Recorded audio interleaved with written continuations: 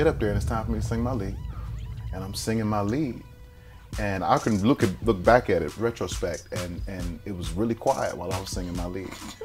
And one of the one of the ladies from my church, she said, "Take your time, Durrell.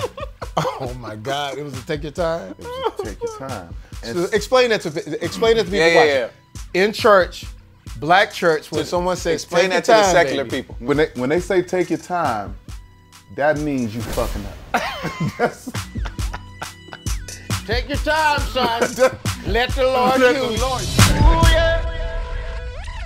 R&B money.